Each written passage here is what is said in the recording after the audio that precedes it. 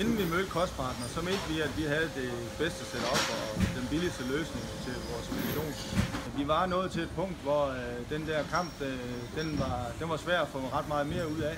Så hvis vi skulle gøre noget på det område, så skulle vi selv have øh, ligesom, brugt noget tid og nogle ressourcer internt i organisationen øh, på de ansatte, der har haft med de forskellige speditører at gøre.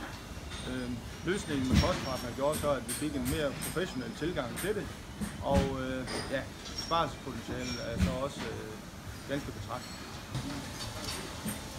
Gennem samarbejdet, det har betydet det, at øh, vi har opnået nogle besparelser på vores transportbudget, som øh, fylder betragteligt øh, i den øh, forbundlinje.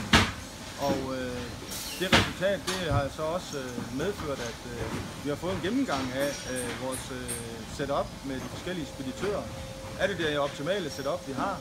Øh, både ud fra pris og, og leveringstid og, og produktsikkerhed.